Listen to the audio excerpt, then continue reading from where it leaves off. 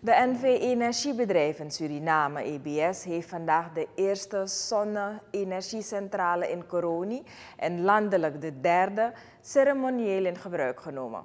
De aanleg van deze zonne-energiecentrale is evenals de zonne-energiecentrale in Nikeri onderdeel van het expansie- en upgrade-project welke wordt uitgevoerd met behulp van een leningsovereenkomst die loopt tussen de Caribbean Development Bank en het ministerie van Financiën. In november 2019 vond na openbare aanbesteding de officiële ondertekening plaats met het bedrijf Sumet Group Corporation voor de constructie van de zonnepanelencentrale. In februari 2020 werd simultaan in zowel Coroni als in Nikeri een aanvang gemaakt met de werkzaamheden. Door de COVID-19-pandemie ondervonden deze projecten enigszins wat vertraging.